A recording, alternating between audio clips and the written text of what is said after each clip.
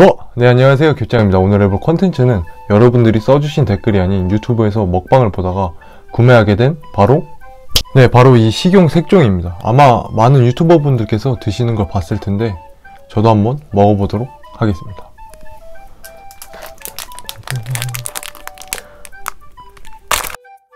총 맛은 네 가지고 빨간 맛, 연두 맛, 하늘 맛, 보라 맛 이렇게 총네 가지를 구매하게 되었습니다